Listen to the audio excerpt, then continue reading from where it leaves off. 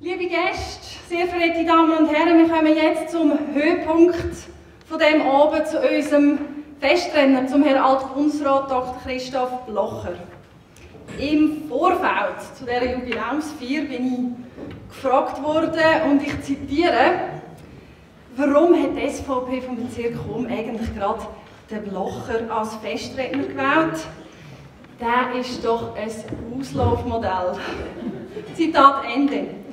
Ich habe auf das geantwortet, dass der Herr Blocher gerade in der heutigen Zeit, wo die SVP ein angeschlagen ist, ein eigentlicher Fels in der Brandung ist. Einer, der weiss, genau weiss, dass stürmische Zeiten auch ihr Gute können haben Meine Damen und Herren, der Altbundesrat Blocher ist eine Persönlichkeit, die sehr wohl weiss, was Sache ist. Und er ist kein Auslaufmodell, wie es uns die Medien manchmal weiss machen Er ist ein wacher Geist mit einer Gabe, die nur sehr wenige haben. Er kann messerscharf analysieren und er hat die Fähigkeit, uns aufzuwecken oder je nach Art der Lage wach zu behalten. Das können nur ganz wenige Persönlichkeiten, aber der Herr Dr. Blocher kann das. In dem Sinn, Herr Altbundesrat, Sie haben das Wort und das Auge gehört Ihnen.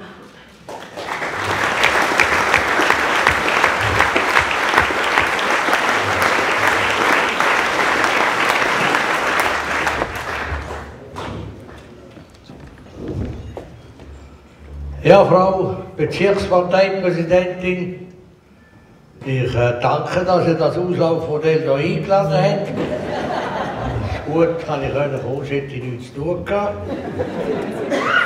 Der Gemeinname von Nationalrätin Flückiger, verehrte Herren Nationalrat, Herr Ständeratskandidat, Herr Regierungsratskandidat, Kandidatinnen und Kandidaten aus dem Nationalrat, Damen und Herren Grossräte, liebe Kulmerinnen und Kulmer, liebe Gäste, getreue Mitlandsleute, liebe Frauen und Männer. 100 Jahre SVP Kulm, das ist wirklich nicht nichts. Ihr seid, nur dass ihr es wisst, aus der Not geboren. Das ist der Vorteil den schlechten Zeiten, dass die guten Sachen entstehen. Der Nachteil den guten Sachen, den guten Jahren, dass die guten Sachen leider zu Grund gehen. Ich rede als Industrieller. Müsst ihr mal schauen. Die Unternehmen gehen eigentlich immer nur kaputt in den guten Jahren, nicht in den schlechten. Weil in den schlechten geben sich alle Mühe, dass es blüht und vorwärts geht und in der guten ist alles selbstverständlich. Darum gibt es immer gute und schlechte Zeiten in der Wirtschaft. Es geht nie nur durchauf, es geht immer auch wieder durchab. Das merken wir jetzt bereits. Nach diesen guten Jahren passen auf, dass nicht ab geht. Aber schlechte Jahre gibt eben auch Chancen. Weil dann gibt es Leute, die merken, jetzt wollen wir das Heft in die Hand nehmen in der Wirtschaft kommen dann nicht so Karrierefiguren, die so möglichst schön aussehen und ja, wo man wählt, weil sie eigentlich noch für Harmonie sind, sondern dann nimmt man die, die wieder die Ärmel hinterher litzen und die Sache in die Hände nehmen. Und das haben die Kulmer vor 100 Jahren gemacht in dieser Notzeit. Die haben gesagt, jetzt müssen wir anstehen durchbeissen, uns einsetzen für Kulmerinnen und Kulmer, für den Aargau, für unsere Schweiz. Und ich gratuliere Ihnen, dass Sie das gemacht haben, und zwar 100 Jahre lang. Frau Präsidentin hat gesagt, das war eine schwierige Zeit 1919. Nach einem fürchterlichen Krieg, nach dem Ersten Weltkrieg. Die Unzufriedenheit war gross in der Schweiz, ist klar. Krise. Viele Frauen mussten die Hause die Arbeit machen. Der grosse Teil waren ja hier noch Bauern. Männer mussten in den Krieg, aber an Grenzen haben nicht recht gewusst, was. Es hat zu wenig zu essen gegeben. Man musste Lebensmittel verteilen. Und die Unzufriedenheit war gross. Und in so einer Unzufriedenheit kann es ja alles geben. Es hat zuerst 1919 haben die Roten, das sind doch Kommunisten gewesen, haben Gelegenheit ergriffen und haben gesagt, jetzt machen wir einen Umsturz. Und das hat dann einen Generalstreik gegeben. Ein, ein, ein gewaltiger Generalstreik. Und die haben nicht einfach nur willen ein bisschen mehr Lohn oder so, sondern harmlos, sondern die haben den Umsturz willen.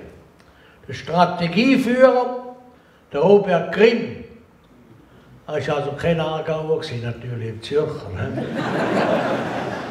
der hat gesagt, ich zitiere so etwas Blödes, hätte die gar nicht können sagen Die Anwendung des unbefristeten allgemeinen Streiks, der zum offenen Bürgerkrieg überleitet und den Sturz der bürgerlichen Gesellschaftsordnung zum Ziel hat, das ist das Ziel des Streiks. Sie sehen, es ist also sehr gefährlich geworden. Wir müssen die Armee aufbieten. Eben, weil man das Ziel gemerkt hat, wo da könnte sein. Und in schlechten Zeiten gibt es natürlich solche Bestrebungen. Die Diktatur Russland her war Vorbild. Gewesen. Grimm war auch der. Und parallel dazu, zum Ersten Weltkrieg und zu den Nachwehen, haben wir eine furchtbare Grippenepidemie in der Schweiz. Mit vielen Toten. Mein Vater war in der Rekrutenschule, hier im Ersten Weltkrieg, er ist im Jahrgang 1897.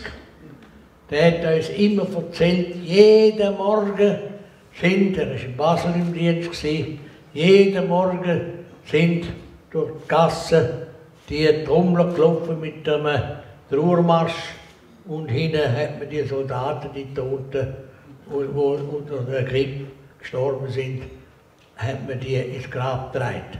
Also das muss man sich alles vorstellen, das war in dieser Zeit. Die Landbevölkerung war natürlich vernünftiger. Gewesen. Auch im Bezirk Ulm, äh, Kulm und vor allem auch im Kanton Aargau war natürlich mehr Vernunft. Gewesen. Die Armee hat auch die Landsoldaten geholt zum Einsetzen, weil sie nicht mehr recht gewusst hat, ob in der Stadt eigentlich Soldaten noch zum Land stehen oder nicht. Aber auch im Bezirk Kulm war die Unzufriedenheit gross namentlich unter vielen Bürgerlichen. Sie haben dort mal gesagt, das nehme ich auch, ich bin also nicht ins Archiv gestiegen wie, der, wie euer Gemeindamme, aber ich habe mir gerne das Protokoll von dieser denkwürdigen Versammlung im Januar, wo die SVP gegründet worden ist. Und da war der Vorwurf an die beiden bürgerlichen Parteien, FDP und CVP, sie kämpfen nicht genug für die unabhängige, freiheitliche Schweiz. Sie sagen es nachgeberisch. Und was haben sie gemacht? Sie haben gesagt, wir machen jetzt eine neue eigene Partei. Und das war die Spurenpartei. Zwei Jahre nachdem Zürcher eine eigene Bauernpartei gemacht haben, das ist die älteste Kantonalpartei von der Schweizerischen Volkspartei, und dann sind die gerade massiv eingezogen im Zürcher Kantonsrat und dann auch bei den Nationalratswahlen haben äh, hat Bezirk Kulm Partei gegründet. Und sie haben schwere Vorwürfe gemacht, sie haben gesagt, äh, aus diesem Protokoll gesehen, was da gesagt worden ist, die, die Freisinnigen vertreten nur noch die städtischen Staatsbeamten sowie die Hochfinanz und sie hätten überhaupt nichts mehr zu sagen. Wir sind ja alles eigentlich früher noch weiß ich nicht, ob in Kulm oder auch früher Freisinnig sind oder CVP. Also wir Kanton Zürich, unsere Vorfahren, sind Freisinnige gewesen. Darum müssen wir auch mit den Freisinnigen ein nett sein. Die Freisinnigen sind unsere Großväter und Großmütter. Mit denen ist man nett. Aber wir müssen ein einen anderen Weg gehen als sie. Die sind halt dann ein bisschen stehen geblieben. Meine Damen und Herren, und aus dem heraus ist die Partei gekommen. Das Wiedenthaler Blatt hat gehört, der Zeitung versteht, das ist ja der gleiche, wie er heute hat, 160 Jahre. Also das ist eine Leistung da. Eine unabhängige Zeitung, das gehört ich noch nicht einem grossen Verlag. Da ist dann noch etwas, he? nein, nein, da müsst ihr ja behalten. He? Das Wiedenthaler Blatt hat dann die junge Partei prägnant beschrieben. Sie hat gesagt, unser Ziel ist es, wir müssen für das Volk etwas tun, nicht für uns selber. Das ist es genau. Das ist doch der Hauptmissstand in der Politik, dass Politiker relativ schnell anfangen, nur für sich zu schauen, statt für die, die gewählt sind. Also der Satz, der ist ewig gültig. Wir müssen für das Volk etwas tun, nicht für uns selber. Das ist der Slogan von der neu gegründeten Kulmer SVP. Gratulieren euch, darum sind ihr also stark geworden. Und ihr seid ja stark in diesem Bezirk. Also nicht nur heute. Ihr seid ja vor dem Krieg, also vor dem Zweiten Weltkrieg, sehr stark gewesen. 45 Prozent habe ich gesehen. Das ist nicht nichts. Aber heute sind wir ja, da bei den letzten Nationalratswahlen, haben wir 47 Prozent gehabt. Sie sind aber nicht immer so stark gewesen. Sie sind zwischen ihnen auch mal zusammengehängt. Ich habe jetzt zwei gute Höhepunkte genommen. Nämlich nach dem Zweiten Weltkrieg sind ihr und die gesamtschweizerische SVP abgesackt. 1975 sind wir in einer Krisensituation gewesen, weil wir sind gesamtschweizerisch unter 10% geht. Und der Fehler ist bei uns gelegen, der liegt immer bei einem. Der Fehler ist bei uns gelegen, weil man hat nicht mehr gemerkt, dass die Schweiz eine andere geworden ist. Und da hat man gesagt, so, man muss wieder neu dahinter. Aber man ist nicht dahinter gegangen und hat gesagt, wir gehen nach links oder wir gehen nach dort durch. Es hat auch der gehabt, die das wollen. Aber die tonangebenden Leute, die dort die Partei denken, haben gesagt, wir bleiben auf unseren Grundsäulen bestehen, die sind gut. Wir sind ein freiheitlicher Staat. Wir sind konservativ. Konservativ heißt bewahren die guten Sachen, aber gleichzeitig auch freiheitlich, liberal-konservativ. Aber wir sollten nicht das machen, was man hier gemacht hat nach dem Krieg, nur für die Bauern. Aber wir wollen Bauern vertreten, aber das allein lange nicht, es hat auch immer weniger. Ist natürlich stark abgenommen. Nicht nur Finanzpolitik und Militärpolitik. Wir müssen ins Bildungswesen. Wir dürfen die Außenpolitik nicht diesen Schwärmer überladen. Wir müssen selber auch etwas machen. Also das ist der große Umbruch. Ich weiß das gut. Ich bin ja hier Parteipräsident geworden von der Zürcher. Das war dann noch eine Sache, kann ich Ihnen sagen. Ja, heute so jemand wie ich, wir wählen sie nicht in guten Zeiten. Da. Wenn sie, wenn sie einen nicht brauchen. Da. Aber wenn es schlecht geht, dann können sie sagen, ja, der kann vielleicht noch etwas machen.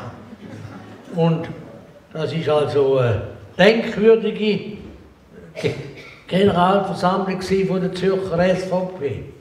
Haben am 8. Jahr angefangen, fast wieder der Gemeinderat in Rheinach, wie ich heute gehört habe. Am 12. sind wir noch nicht fertig gewesen, weil es noch kein Präsident gewählt war. Gestritten ist worden wie verrückt. Und dann hat das Votum meine, meine Präsidium, mein Präsidium gerettet. Das gehört eben auch dazu, wenn man Geschichte anschaut. Auf einmal passiert etwas. Und aus dem etwas wird etwas, wo man gar nicht denkt. Also die, die gesagt haben, so ein verrückter Sieg, also da ist noch nicht gesagt, ist ein Auslaufmodell. Aber aber auch etwas ähnliches, so ein verrückter Sieg kann schon nicht wählen. Sie hat noch Strafklagen gemacht, Eheverletzungsklagen, um das zu verhindern. Das ist so nicht von der einen Partei ausgekommen. Eben, was sie anders wollen, haben sie so gemacht. Und dann nach der 12 hat meine Frau, die neben mir gesessen ist, immer gesagt, wir sollten heim, wir müssen jetzt heim. Weil wir haben dort nämlich ein drei Monate altes Kind gehabt, ja. Und meine Frau musste stillen. Und dann habe ich gesagt, ich habe einen Ordnungsantrag und habe gesagt, wie immer jetzt ihr euch entscheidet, jetzt müsst ihr rasch entscheiden. Sonst verzichtet ihr. Meine Frau ist auch da, wir müssen heim, denn sie muss von uns vier Monate, vier Monate Kind stillen. Und wenn sie nicht heimkommt, dann stimmen, verhungert das Kind. Und wenn ich das Präsidium von der Zürcher SVP nur mit einem verhungerten Kind erreichen kann, dann verzichte ich auf das Schießamt. Mir ist das Kind lieber als das.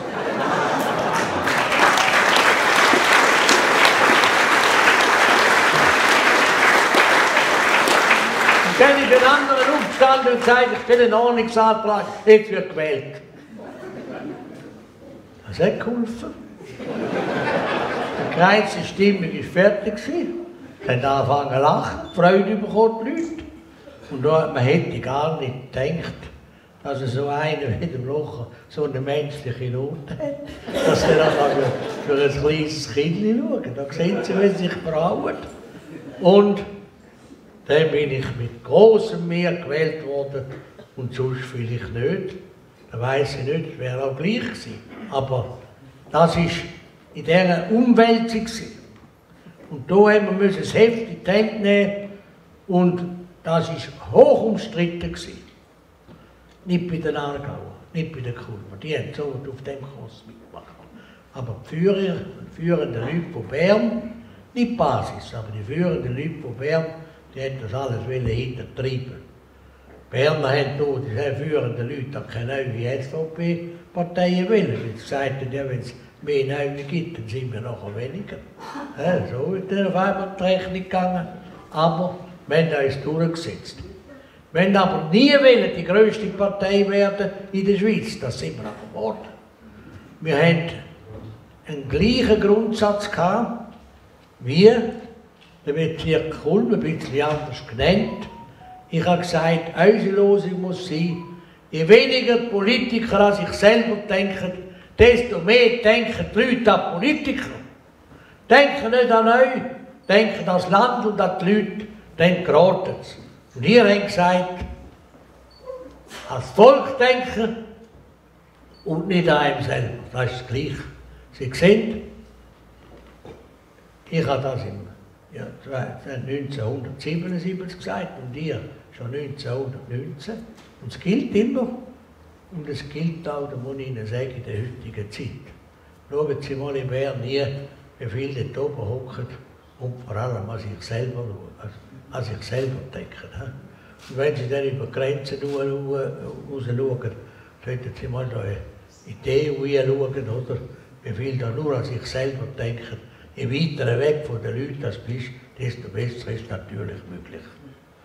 Und so ist eigentlich die Partei so stark geworden und wir haben auch viel erreicht. Jetzt kommt nicht darauf an, wie viel Wähleranteil das wir haben. Warum ist die Schweiz denn in der Europäischen Union, meine Damen und Herren? Und auch mit den Stimmen der Kulmer da. Ihr habt das also schon angeschaut. Habt immer recht, stimmt, das wäre nicht gekommen.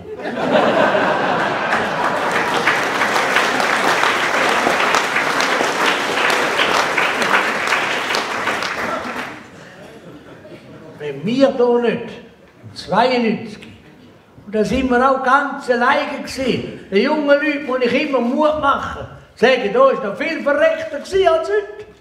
Da sind wir noch viel mehr alleine gewesen.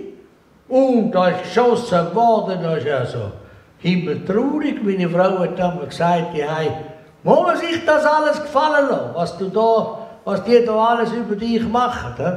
Wenn nicht mehr recht gewusst haben, mit dem Dreck, was sie da gerührt haben, haben sie eine Fotomontage gemacht und meine Frau und vier Kinder auf der Straße hocken, das Blechgeschirr und ich oben raus schaue und, und, und, und, und pfeife, du machst pfeifen auf die Familie abklopfen und unten hat ein Schild gehabt, frisch geschieden. Ja, ganz zeitige Fotos und Derringszeug. Also nur zum Sagen, das ist ja heute nicht der Fall, oder? Also, gut, äh, jetzt wäre es nicht mehr so interessant, wenn ich frisch geschieden wäre in dem Alter. Aber, aber äh, also so ich habe jetzt nicht mehr müssen erleben. Aber das gehört dazu auch in der Politik, dass wenn man eine Sache richtig macht, man halt manchmal allein steht. Aber das ist ja mit Unternehmen auch so.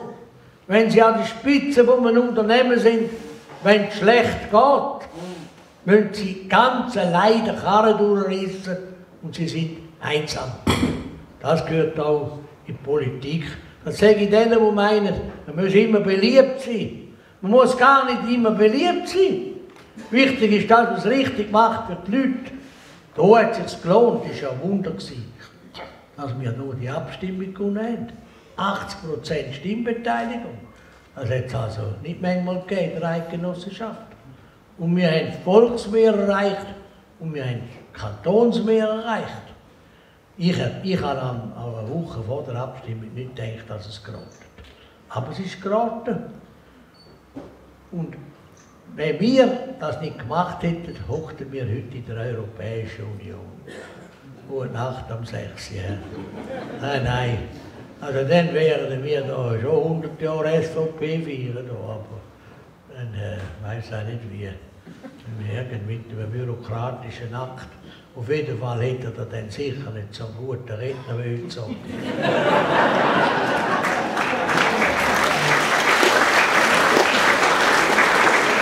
Meine Damen und Herren, ich, ich erinnere mich gern an den Bezirk Kulm, die großartige Wienentaler Kollegen im Nationalrat. Stammfest, der solide Gewerbevertreter, der Bäckermeister Christian Speck, habe ich gesehen, der Nachfolger ist schon da. Oder noch da, ich weiß nicht. Das war noch ein Typ. Der ist nämlich gerade neben mir gekocht. Er hat immer am Morgen um drei aufstehen als Bäcker, ist ja klar, aber der war natürlich geistig frisch. Gewesen. Frischer, viel frischer als da die Linken, die am 9 erst aufgestanden sind. Und leider, äh, er ist dann leider früher verstorben. Oder hat das grosse Organisationstalent. Der Hans-Uli Martins, ich habe gesehen, da hast du noch hat er die, die, die Begabung weitergegeben an eine tüchtige Tochter, das ist auch noch glückt. Das ist ja gut. Der ist ja, in Holzig hat ja der, also zeitweise da die Gemeinde dort in dieser Halle fast zum politischen Zentrum der Schweiz gemacht, oder? Und dann natürlich auch aktuell die einflussreiche, umsichtige und tüchtige Gewerbepolitiker Silvia Flückiger-Beni, die ist dann Stammfeste. Heute hat mir die Frau auf dem Weg hierher gesagt, Silvia, magst du dich noch erinnern, wo Silvia Flückiger im Detail aufgezählt hat, was das heisst, die Bürokratie in einem Gewerbebetrieb, oder? Sie hat recht gehabt, es war gut. Gewesen. Es ist uns geblieben. Leider ist es nicht bei den Bürokraten hängen geblieben zu Bern. Die machen noch weiter. Es ist furchtbar. Aber Sie merken noch viel mehr, wenn nicht dauernd immer noch bremset wird. Meine Damen und Herren, wenn wir zurückschauen auf die Zeit, auf die Krise vor 100 Jahren, dann müssen wir sagen, Geschichte wiederholt sich immer wieder irgendwie. Steht ja schon in der Bibel, oder? Es gibt nichts Neues unter der Sonne. Längst schon ist es da gewesen. Darum ist es vielleicht gut, wenn man manchmal ein bisschen auf das Auslaufmodell gehört. Die haben ja viel erlebt, oder? Haben nicht mehr so viel Energie, aber viel Erfahrung. Haben das Leben gesehen. Aus der Geschichte wissen wir 1919, haben wir heute gehört, was da war. Und wissen, der Erste Weltkrieg hat eigentlich gar niemand recht gewusst, warum das der ausgebrochen ist, zum Weltkrieg. Weil jeder gemeint hat, der werde gewinnen und Land und und, und, und Reichtum erwerben. Und nachher ist der Scherbenhaufen gekommen. Und nachher, selbstverständlich, internationale große Konferenzen. Diplomaten an grünen Tisch hat die Welt aufteilt. Aber lebensfremd und weit weg vom Alltag haben sie Lösungen entworfen. Und 20 Jahre später ist noch der verrückte Krieg ausgebrochen, der Zweite Weltkrieg. Hat alles nicht gegeben, nicht funktioniert. Europa ist wieder in, Ab wieder in Abgrund gestürzt. Oh, wie wenigstens großes Reich. Da können Sie in der Geschichte schauen, ist doch immer wieder zusammengegangen. Immer gleich. Groß, mächtig, wir regieren. Schauen wir mal, wie die Habsburger untergegangen sind. Das getrauen wir jetzt sagen im Kanton Aargau, obwohl ja die Wiege bei euch liegt. Aber nein, das sehr gut gemacht, dass er die so früh gehen lassen Ja, ist wahr. Und da haben deren nur Sorge. Ich habe gehört, da, die, Hab, die Habsburger Zöglinge, da, die Nachfolger von den ehemaligen Habsburger, wollen dann die Habsburger wieder kaufen da oben. Da müsst ihr dann ja nicht, ja nicht die Hand bieten. Da ist also nicht gescheiter, wenn der Trump Grönland kauft, als ihr dort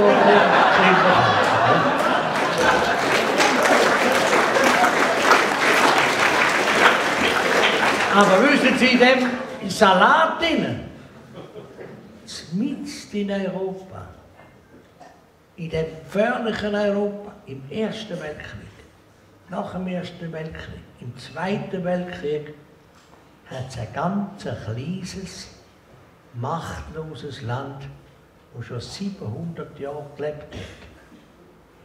Und erst noch eins, das von Natur aus bitter arm ist, hat keinen Bodenschutz, hat keinen Meeranschluss, über weite Gebiete, eine unmögliche Topografie, Gebirge, gut, das ist früher noch schwieriger gewesen, da über die Gebirge zu kommen, als heute, das heute Tunnel machen, oder?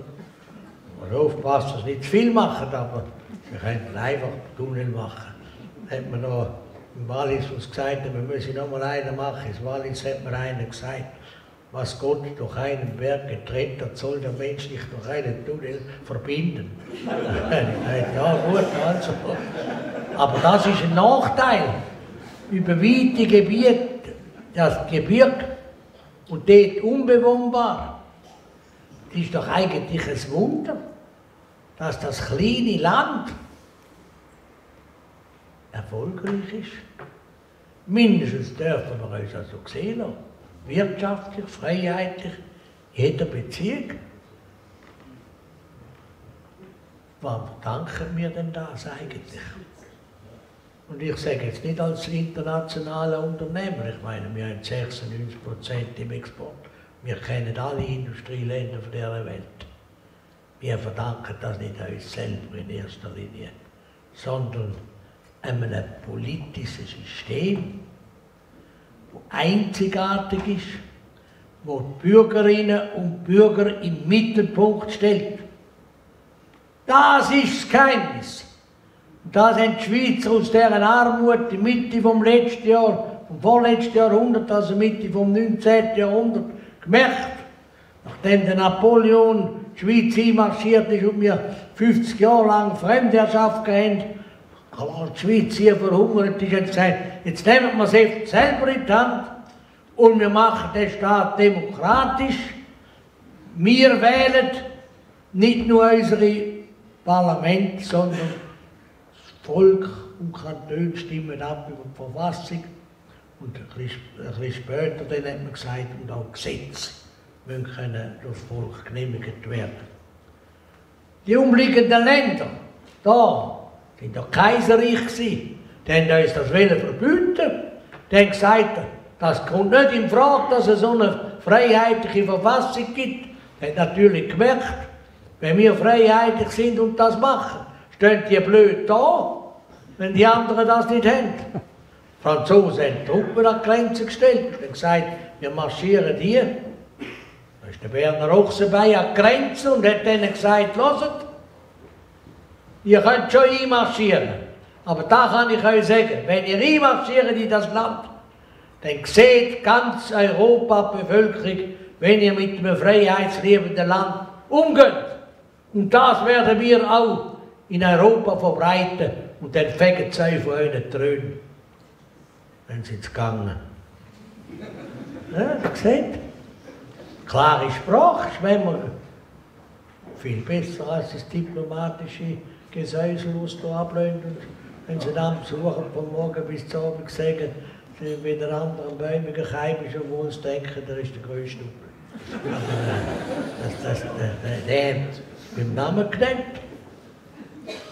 Und dann haben die europäischen Grossmächte gesagt, ja, könnt ihr machen, die Schweizer. Ja, sollen so eine Verfassung machen, da regiert der Pöbel. Das dauert nicht lang liebe Frauen und Männer, wir haben unsere Verfassung noch. Wir haben unsere Verfassung, wo das drin steht, volkliches Segen. Wir haben unsere Verfassung noch, wo sagt, wir sind ein freiheitlicher Staat. Die anderen großen europäischen Staaten um uns herum, kein einziger hat die Verfassung noch. Und die sind zum Teil bitterlich, in Blut, Schweiß und Tränen untergegangen. Das müssen wir anschauen. Das muss man sich auch für, muss man auch den jungen Leuten sagen. Den Schülern. Ich habe zwölf Enkel, ich bin immer dran am Predigen. Ich weiß nicht, ob du das weißt. Na ja, zwölf, zwölf standhafte Eidgenossen langen ja, oder? Brauchst du sieben für den Bundesrat.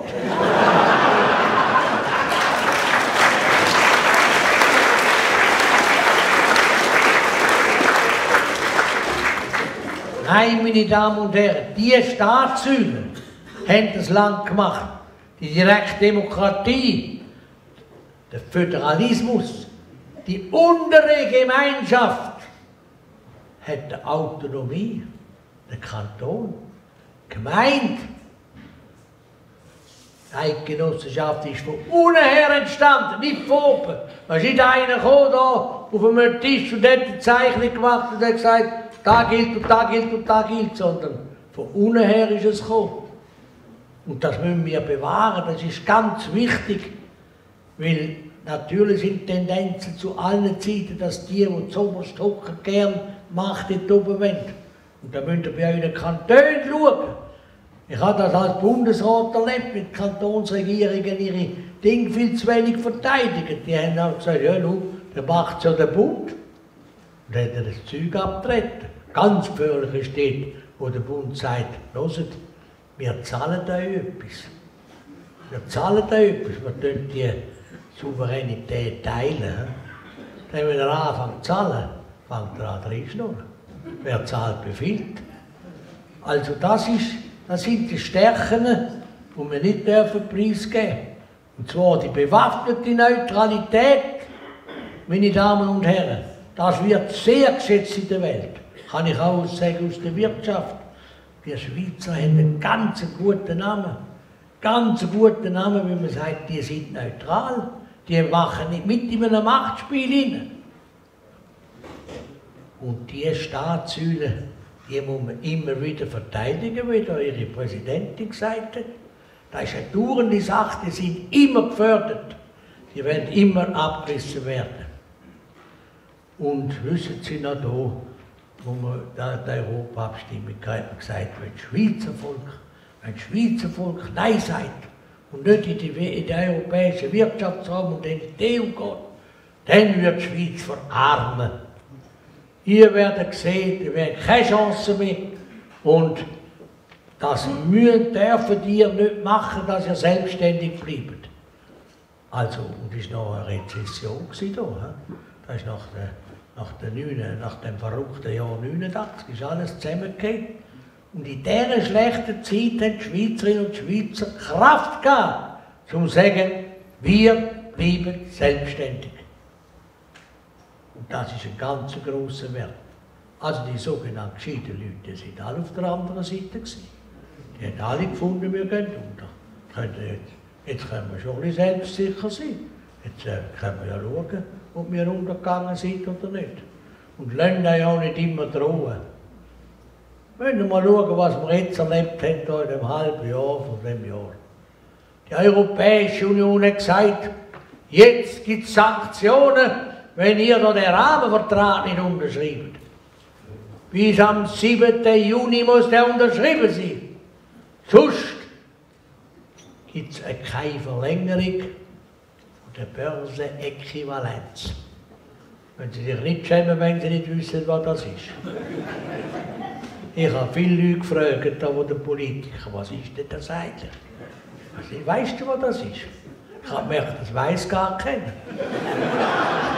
Ja, wenn es so ein hohes Wort ist, dann schämst du das zu sagen, weiß es nicht, das bist ja dumm. Und ich kann mir das können leisten, weil ich ein Auslaufmodell bin.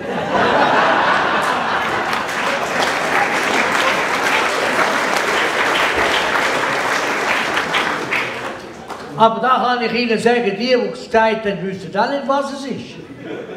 Und dann, wo man das untersucht hat, das ist ganz etwas Banales. Das heisst, die, die eine anständige Börse haben, die sagen, wir anerkennen auch die anderen. Ah, das ist einfach das. Und jetzt hat der Europäer gesagt, gut, wenn ihr nicht macht, dann tun wir unsere Börse für den Handel der Schweizer Titel auch nicht mehr zur Verfügung stellen. Dann hat wieder der SVP-Bundesrat, der Ueli Muro, ganz einfach, das ist ja ein einfacher Mann, oder? Der, der hat nicht so, so lange studiert wie die anderen. Heute hat nicht so lange müssen, weil es nicht gebraucht hat. Der hat gesagt, jetzt machen wir doch einfach gleich. Wenn ihr das macht, dann dürfen ihr keinen Schweizer Titel mehr haben und den anderen mit. Die haben auch nur in der Schweiz. Dann ist der 7. Juni gekommen, haben nicht unterschrieben. Dann ist der 31. Juli gekommen, am 1. Juli haben sie gesagt, jetzt gibt es keine Börsenäquivalenz. Haben Sie etwas gemerkt von dem? Haben Sie im Juli etwas gemerkt? Da geht es Ihnen schlechter. Niemand hat etwas gemerkt. Und die Börse hat bekannt gegeben, am Schluss von dem Monat, sie hätten noch nie so einen großen Umsatz gehabt.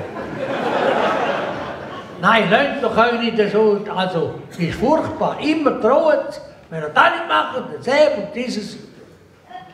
Es gibt schon Sachen, die gefährlich sein können. Aber wenn man selber nicht weiß, ob etwas nicht gefährlich sein kann, dann ist es nicht gefährlich. Dann können wir drauf gehen. So. Und in der heutigen Zeit, es gibt nichts Neues unter der Sonne, sind natürlich die Staatssäulen unglaublich gefährdet. Unglaublich gefährdet weil es wirtschaftlich jetzt eine gute Zeit war, fand jetzt runtergehen, aber bis jetzt ist sie eben gut dann ist eben die Versuchung groß, den Blödsinn zu machen. Man wird übermütig und sagt, ja, wir könnten eigentlich auch da ein bisschen in richtige EU gehen. Wir sind ja sowieso ein kleines Land. Das ist auch mühsam, alles selber machen und ja, und gibt es so viele Probleme, du kannst auch nicht mehr allein, kommst du die ganze alte Musik hineinführen. Wie nichts Neues unter der Sonne. Das ist ja so Anfang 90er Jahre der so. So nein, nein. Wir müssen dort hier, wir müssen dort hier, wir müssen dort hier. Wir dürfen nicht dort hier. Und dann sagt EU, schon als ich im Bundesrat war, hat die EU gesagt, ihr müsst einen Rahmenvertrag unterschreiben. Und ich sage, was ist denn das, ein Rahmenvertrag? ja, ich bin Bildersammler, ich weiß, ein schöner Rahmen, das ist wirklich etwas Schönes, oder? Bis ich dann gemerkt habe, aha, das ist ein institutionelles Abkommen, so heißt es da. Merken Sie, da wieder ein Wort drin, wo man Angst bekommt. Ein institutionelles Abkommen. Das betrifft unsere Institutionen. Das betrifft unsere Volksrechte. Das betrifft unsere Regierungsform. Das betrifft unsere Staatsform. Das betrifft unsere Unabhängigkeit nach außen. Das steckt alles in dem Wörtli institutionell. Aber selbstverständlich, das haben sie nicht gesagt. Sondern sie haben gesagt, ja, das ist, man kann dem besser, wir sind doch Freunde. Und wir gehören doch alle zusammen eigentlich. Oder habe ich immer gesagt, ja, wir gehören zusammen, das ist ja klar. Aber ich habe Hause auch ein so gutes Verhältnis mit unseren Nachbarn, dort wo wir wohnen. Also ganz wir gehören alle zusammen. Aber wenn einer kommt und sagt, so von morgen an hocken wir alle ins Gleichhaus hier, dann sage ich, danke vielmals. Also wir würden lieber selber bestimmen, wenn wir ins Bett gehen. ja, da, auf da läuft es raus. Was bestimmen denn die und wer bestimmt denn da? Das ist der Fehler, dass wir meinen, wir müssen gleich sein wie die anderen. Und da müssen Sie sehen, da müssen wir einfach handfest bleiben. Da sind dicke Interessen, die dahinter hocken. Erstens auch von den Politikern. Sollten mal schauen, was sie da, wenn wir da in die EU rutschen, was da gezahlt wird. Also ein Abgeordneter von der EU hat ungefähr 250.000 Franken. Der hat einen Apparat, der fliegt in der ganzen Welt umeinander. Und dann noch ganz schön für Politiker. In der Europäischen Union sind alle für alles verantwortlich, aber niemand für etwas. Dann hat der Pakt sie nie. Und dann natürlich die Großindustrie. Die, die verteidigt natürlich nicht Demokratie. Das verlange ich auch nicht. Aber sie sollen auch sie nicht abschaffen. Das geht nicht. Und da, wenn sie da Gegensteuer gehen, gegen die Richtung und das Rahmenabkommen, das ist ein schöner Name, das institutionelle Abkommen, führt uns dorthin. Da brauchen Sie keine Juristen. Man sagt immer, ja, das ist eine juristische Sache. Wenn in einem Vertrag steht, dass in Zukunft Gesetz, ein grosser Teil der Gesetze, die Europäische Union für die Schweizer lässt, und wenn ihr das nicht übernehmt, wir Strafmaßnahmen haben, dann muss ich also nicht Jurist sein, um zu merken, dass das ein Seich ist. Nein, da langt das ein vernünftiger Menschenverstand. Und wenn dann noch steht, wenn wir Streit haben untereinander, dann noch entscheidet der Europäische Gerichtshof, dass das fremde Richter sind, brauchen wir also auch keinen kein Jurist. Ich habe nichts gegen Juristen, ich bin ja selber einer. Aber das ist der Inhalt. Und jetzt in Bern merken wir, da wird nicht drüber geredet. Vor den Wahlen wird nicht drüber geredet. Ist ganz still. Ist ganz still. Die einzige Partei, die das bekämpft, ist die SVP. Und da haben sie eine Taktik eingeschlagen vor einem Jahr.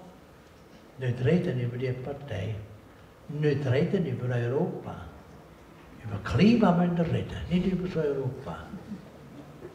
Und nach den Wahlen, dann kommt es dann. Dann unterschreiben wir. In den letzten äh, Wochen war es da, die Partei ist tot, die Partei gibt es gar nicht mehr, die, die schlaft, oder? Ja, ja, wir, wir da hier alle, die euch gibt es nicht mehr. Und was müssen sie da, wenn sie etwas machen? Jetzt müssen sie das Schweizer Volk wecken. Und jetzt müssen sie sagen, was ist. Jetzt gehört der Nagel auf den Kopf. Was hat jetzt die Schweizerische Partei? Also ich bin ja nicht mehr in diesen Führungsgremien da. Ich habe nichts mehr sagen in dieser Partei. Ich bin auch ein einfaches Mitglied wie Sie. Hat er gut gehandelt.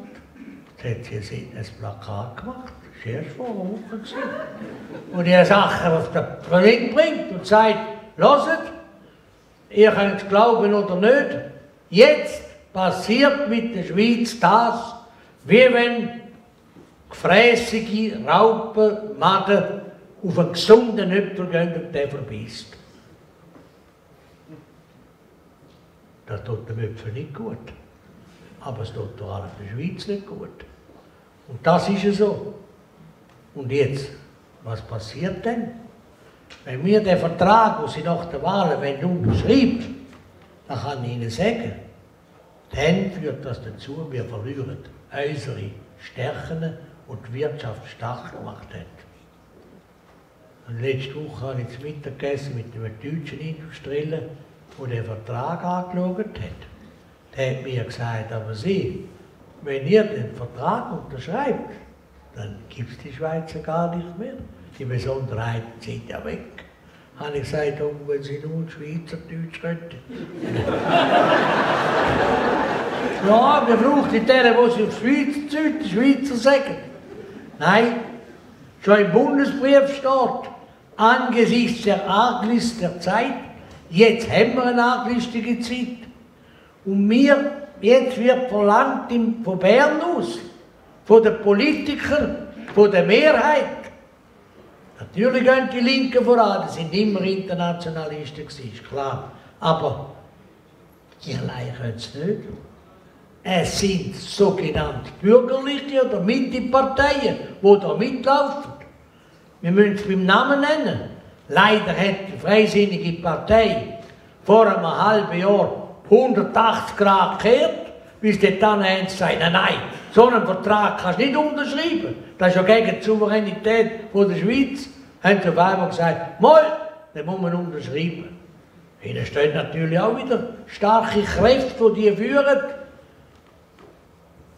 Aus der Wirtschaft. Ich gehöre auch in die Wirtschaft. Aber ich bin nicht der, der die führt. Und und die Klimadiskussion. Die Mitte-Parteien haben gekehrt. Wir haben doch bis vor einem Monat vor der Abstimmung über die Energiestrategie die Freisinnigen gesagt, das muss unbedingt das Volk, das muss man ablehnen. Plötzlich, äh, wir sind auch dafür. Jetzt sind da weil da Greta, gut, ich meine, das begreife ich, dass die einen Einfluss hat. Die hat da schöne Zöpfe, oder? Also, nein, wirklich, also, ich schaue sie noch gerne Zweimal verlieren sie den Kopf. Über Nacht. Letzte Woche, wo man für einen für unmöglich erachtet hat, schließt man einfach 13 Rappen mehr fürs Benzin. Heisst das denn für die Leute, 13 Rappen mehr fürs Benzin? Hat er im Bauplatz, neben mir, bauen wir jetzt, dort wo ich wohne, rede ich mit diesen Bauarbeitern. Die sagen, ihr könnt schon 13 Rappen mehr beschliessen. Ich arbeite heute an, auf dem Bauplatz, morgen in Wetzigen, nachher in, in, in Rapperswil. Ich brauche jeden Tag das Auto. Und ihr sagt einfach 13 Rappen mehr fürs Benzin. Und die, die das sagen, die wohnen in der Stadt Zürich. Die haben den Tram bis an die Haustüren an. Die können in den Finken posten. Und wer hat das alles gezahlt? Das Tram und die Bahnen. Nicht die, die von der Haustür gerade einsteigen. Wir müssen für, für die Gesamtbevölkerung schauen. Und vor allem auch für die, die arbeiten, von morgen bis zum Abend. Auch die in der Landschaft, die im Bezirk Kuhn, die in den Bergtälern. Das hat die Schweiz stark gemacht. Und dann sagt man uns, Heizöl 24 Rappen mehr. Ah, das ist eine Lenkungsabgabe. Jetzt will ich Sie mal fragen, wenn Sie die eine Ölheizung haben und den nächsten Monat 24 Rappen mehr zahlen, wohin wenn sie dann gelenkt werden? ja? Mit was heizen oder dann plötzlich am anderen Tag? Ja, das ist eine Lenkungsabgabe, dass Sie, ich weiß nicht, die Weihe gönnt. Flugbeleberteuerung. Die Schweiz alleine, die Flugbeleberteuerung. Wisst ihr, was die macht? Dem hat schon heute einer gesagt. Er geht jetzt auf Stuttgart. Von Stuttgart sechs heute schon, ohne Verteuerung von der Billette in der Schweiz, billiger, wenn man von Stuttgart auf New York fliege, als von Zürich. Dabei fliege der Flüge von Stuttgart, hocken sie nach Zürich ab, machen eine Zwischenlandung. Merken Sie, aber so kopflose Übungen machen wir. Einfach zum sagen, wir sind für ein gutes Klima. Und wir sind doch für ein gutes Klima. Also, wir sind doch für gesundes Wasser. Wir sind doch für gesunden Boden. Wir sind doch für eine gesunde Luft. Wir hätten es aber auch. Ich weiß nicht, leben nicht im Bezirk. Also bei uns trinken wir Leitungswasser. Also, ich, ich weiß nicht, was die haben. Wegen vergiftetes Trinkwasser. Soll einer da kommen und sagen, wer hat äh, vergiftetes Trinkwasser? Ich weiß, dass ich in ausländischen Ländern bin, wo kein Wasser darfst trinken, das nicht abgekocht ist. Aber hier in der Schweiz, sehr gutes Wasser. Das haben wir aber auch alles Maßnahmen ergriffen in den 60er Jahren, als ich noch studiert habe, war ich auch, bin auch ein bisschen so einer, der gemeint hat, die Welt geht unter. Ja, wenn du jung bist, darfst du das auch. Das Auslaufmodell bist, hast du es nicht mehr. Viel, viel schöner, oder? Weißt bei der Kurzmal haben wir viel gezeigt. Menschen werden in 20 Jahren, also Ende 80er Jahre, nicht mehr können wohnen am Zürichsee ohne Gasmaske. Sind wir überzeugt gewesen, die Gewässer werden so schlecht. Entschuldigung, meine Kinder und jetzt auch meine Enkel baden alle im Zürichsee. Haben wir doch alles, wir haben alles Reinigung, technische Maßnahmen, Rauchgasreinigung und so weiter gemacht. Wir machen das auch weiter. Könnt ihr mal sehen, was in der Industrie alles macht. Aber solche kopflose Übungen und einfach Steuern erhöhen, das ist natürlich gäbig, weil das ist Schlotz über, oder? Schlotz über, Schlotz über kannst du verteilen, bis jemand und so weiter. Die, bringen es gar nicht, das nützt gar nicht. Kann ausgerechnet, können sie selber auch. Wenn wirklich die Erderwärmung von CO2 kommt, und wir würden mal machen, jetzt in der Schweiz dürfen kein bisschen CO2 mehr brauchen. Kein bisschen. Gar nichts mehr. Also müssen ja die Menschen auch ausmerzen, weil im Schnaufen kommt ja auch noch CO2 raus. Die auch nicht, alles. Und wir alles wegbrächten, wäre das nicht einmal 1 Promille von dieser CO2-Belastung aus. Das nützt gar nichts. Aber mit diesen Massnahmen verreckt die Schweiz. Wir verrecken. Und jetzt, wenn wir schauen, zeigt mir, dass man erst auf 2,35, der Bundesrat hat jetzt sogar 2050 kommen. Das ist natürlich gemacht, dass niemand mehr kontrollieren kann. Ja, dann sind die, die jetzt beschließen und das Geld einsacken, sind dann nicht mehr da. Oder vielleicht schon noch da, aber sicher nicht mehr verantwortlich. Nein, das ist kopflos. Und da wehrt sich die SVP, und es ist traurig, dass wir im Moment alleine hier sind. Wir wehren uns dagegen, dass man die Schweiz in die EU verkauft. Wir wehren uns dagegen, dass man institutionelle Verträge macht und wir nachher nichts mit zu sagen haben. Wir wehren uns, dass die Schweiz noch bleiben kann, was sie ist und wo sie stark gemacht hat. Für die Freiheit, für die Sicherheit. Sie müssen doch nicht meinen, wir sagen das Land, wo niemand will. Wieso sind denn in diesen 13 Jahren eine Million mehr Leute in die Schweiz gekommen? Weil das so schlecht ist da. Und wenn man sagt, ja, es kenne bald niemand mehr auf der Welt. Also die 7 Millionen hat er mindestens gefunden, die da Ja, Gut, die haben vielleicht ganz gute Karten und äh, ganz gute Kumpels, sind vielleicht alles ganz reiche Leute, die da kommen. Nein, schau, das stimmt doch alles nicht. Der institutionelle Vertrag gehört in Abfallkübel.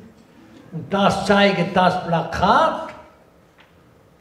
Wie sagen wir denen, die das machen? Du musst einen Namen finden. Die Linken, das ist klar. Und die Bürgerlichen, das sind die Netten. Nett ist ja gut, also ich habe wirklich gerne, wenn die Leute nett sind. Aber wenn sie gegenüber einem Unrecht nett sind, dann ist ihnen so gut. Also wir, ich gebe zu, wir haben das seinerzeit, Zürcher hat das erste Mal gebracht, das haben wir den Linken und den Netten zu verdanken. Das haben wir vom Franz Zoller gestohlen. Der hat nämlich so einen Song gemacht, wo er im Bundeshaus geht und dann singt er da sind alle so nett, sind alle so nett, sind alle so nett, sind alle so nett. Er hat natürlich ironisch gemeint. Er hat gesagt, die Keiben da im Bundeshaus, sind alle so nett. Aber wir müssen mal schauen, was die Keiben dann beschließen. An die Linken und die Netten, da dürften und jetzt das Plakat hat einen Aufschrei gegeben. Hat er schon erwartet planet. Zum zeigen, und jetzt fängt die Diskussion an. Seit einer Woche ist es dann fertig mit der Strategie vom Gegner. Über die SVP reden wir nicht und über die Themen reden wir auch nicht. Und sie sind ja tot. Jetzt sind sie plötzlich da. Sie sind verwacht, weil sie müssen zeigen. Da bin ich, ich habe lange keine Stellung genommen, da hat mich einer verwünscht, im Kanton Aargau. Da die alten Nationalräte haben sich da beim Walter Glur getroffen, auf seinem Hof. Da ist einer gekommen und hat da, ich habe nicht einmal gemerkt, dass ein Journalist ist, und hätte keine Auskunft gegeben. Ich habe gemeint, das sei einer SVP-Sekretariat. hat er gesagt, ja, was meinen Sie zu dem? Ja, das ist ein Wohltreffer. Ja, aber Sie, ist doch ein grusiges Plakat, sage ich. Wie wenn Sie eine grusige Sache darstellen, ohne dass das Bild grusig ist? Geht doch nicht. Das ist doch grusig, was doch die jetzt machen, die Schweiz kaputt machen. Jetzt müssen sie etwas machen, wo zeigt, dass das grusig ist. Nachher hat er es gebracht zum Gegenlesen. Wenn man das dürfen schreiben, dann hat er unten geschrieben, können Sie mir sagen, was grusig auf Hochdeutsch heißt? da habe ich gesagt, nein, das ist der Sonderfall Schweiz. Das Wort gibt es jetzt nur in der Schweiz. Aber ich kann euch sagen, es gibt nicht nur in der Schweiz so Grusige, die das eigene Land verraten, sondern im Ausland auch. Wir nur schauen. Aber wir haben ein schönes Wort, grusig. Also da müssen wir stolz sein. Ich weiß heute noch nicht was.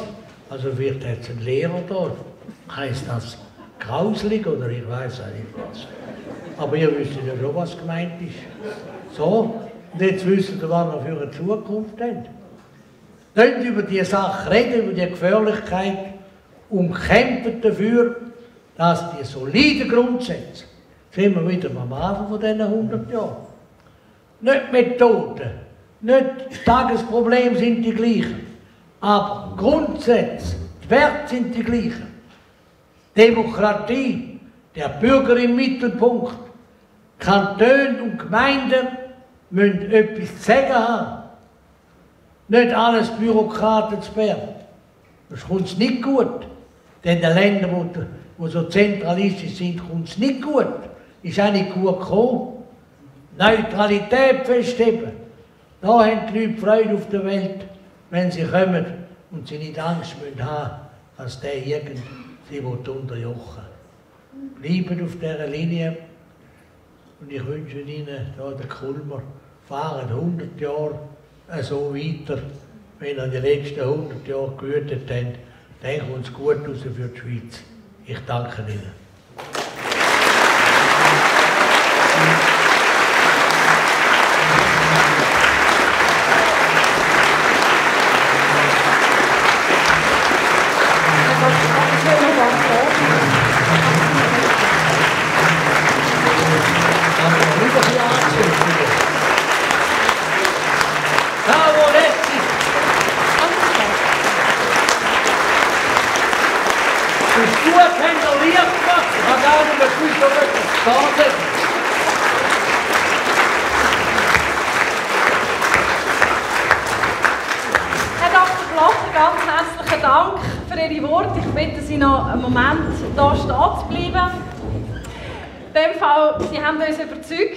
Dr. Blocher, Herr Altbundesrat, ich danke Ihnen im Namen von allen Anwesenden ganz herzlich für Ihr erfrischendes, aber auch aufrüttelndes Referat. Sie haben bewiesen, alles andere als ein Auslaufmodell, sondern ein Mann, der genau weiß, wo wir durch müssen.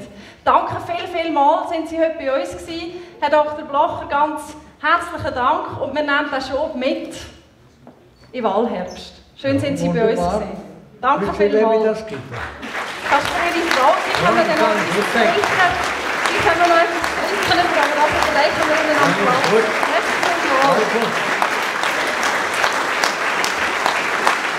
Also, da muss ich Ihnen sagen, das hat meine Frau wirklich verdient. Nein, das ist also nämlich nicht einfach Frau von so einem Mann sein. Das kann ich euch also, das kann ich euch aus Erfahrung sagen.